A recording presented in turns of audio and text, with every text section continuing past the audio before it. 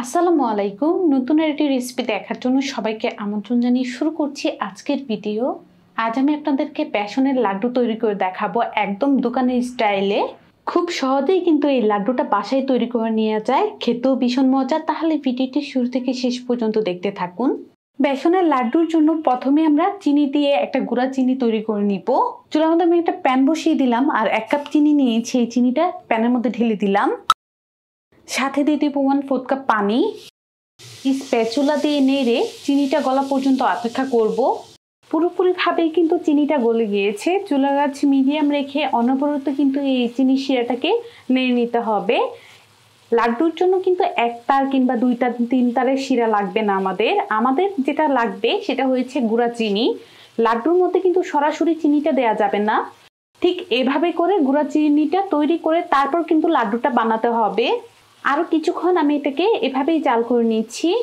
অনবরত কিন্তু এটাকে নেড়ে যাচ্ছি না হলে কি হবে? এটা কিন্তু ক্যারামিল হয়ে যাবে। চুলা আঁচ মিডিয়াম রেখে এভাবেই অনবরত নেড়ে এই গুঁড়া চিনিটা তৈরি করে নিতে হবে। এখন যেটা দিতে হবে, আমি এখানে এক চা চামচ পরিমাণ ঘি দিয়ে দিচ্ছি। ঘিটা দেওয়ার পর আবারও স্প্যাচুলাটা দিয়ে এই যে চিনির সাথে মিশিয়ে নিব। ঘিটা দেওয়ার পর চিনি শিরার সাথে স্প্যাচুলাটা দিয়ে মিশিয়ে নিচ্ছি। এভাবেই নেড়ে এটাকে আরও কিছুক্ষণ জাল করে নিব। আরও এক দুই মিনিটের মতো আমি এটাকে চুলার মধ্যে এইভাবে জাল করে নিয়েছি। এখন আমরা চুলাটা বন্ধ করে দিচ্ছি। তারপরে এই স্প্যাচুলাটা দিয়ে ঠিক এভাবে এটাকে নাড়বো। তাতে কিন্তু গুঁড়া চিনিটা আমাদের রেডি হয়ে যাবে। চুলাটা কিন্তু আমি অফ করে দিলাম আর এই স্প্যাচুলাটা দিয়ে এভাবেই নাড়বো। শিরাটা আস্তে আস্তে ঠান্ডা হবে আর গুঁড়া চিনিটা আমাদের রেডি হয়ে যাবে। এই যে দেখুন, এখানে কিন্তু এই যে চিনি দলা দলা হচ্ছে।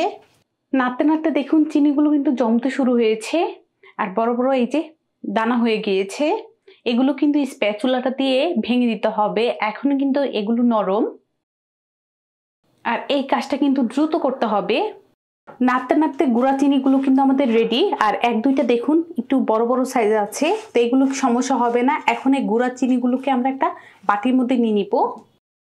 চুলার মধ্যে আরেকটি প্যান বসিয়ে দিলাম। আর এখানে দুই কাপ পরিমাণ বেসন নিয়েছি লাড্ডু তৈরি করার জন্য। এখন এই বেসনটাকে প্যানের মধ্যে দিয়ে দিলাম। চুলার আঁচ একদম লো করে এই বেসনটাকে আমি এভাবে নেড়ে ভেজে নিব। অনবরত কিন্তু এই বেসনটাকে নেড়ে যেতে হবে, নাহলে কিন্তু নিচ থেকে পুড়ে যাবে। আর পুড়ে গেলে কিন্তু লাড্ডুটা খেতে ভালো লাগবে না। পাঁচ ছয় মিনিট চুলার আঁচ লোতে রেখে আমি বেসনগুলো ভেজেছি আর বেসন থেকে কিন্তু সুন্দর একটা ফ্লেভার বের হচ্ছে। বেসনের কালারটাও হালকা চেঞ্জ হয়ে গিয়েছে। এখন যেটা করব, এখানে আমি হাফ কাপ পরিমাণ ঘি দিয়ে দিব। ঘিটা আমি দুইবারে দিচ্ছি। অল্প করে দিয়ে দিলাম আর এই স্প্যাচুলাটা দিয়ে ঠিক এভাবে করে মিশিয়ে নিব।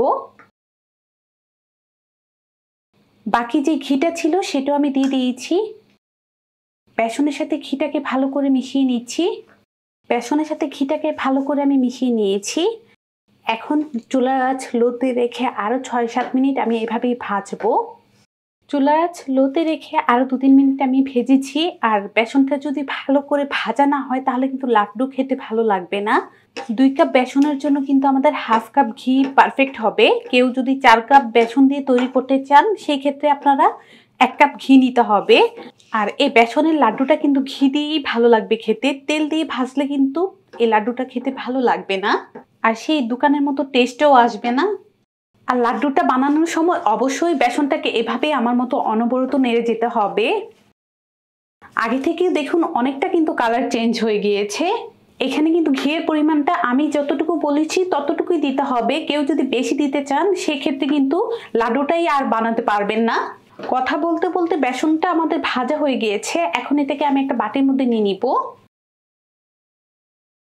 চুলার মধ্যে আমি আবারও প্যানটা বসিয়ে দিলাম। দু টেবিল চামচ পরিমাণ কাঠবাদাম আর পেস্তা বাদাম কুচি করে রেখে দিয়েছিলাম। এই বাদামগুলো প্যানের মধ্যে কিছুক্ষণ ভেজে নিচ্ছি। বাদাম কুচিগুলো কিছুক্ষণ ভেজে নিলাম। এখন আমি নামিয়ে নিব।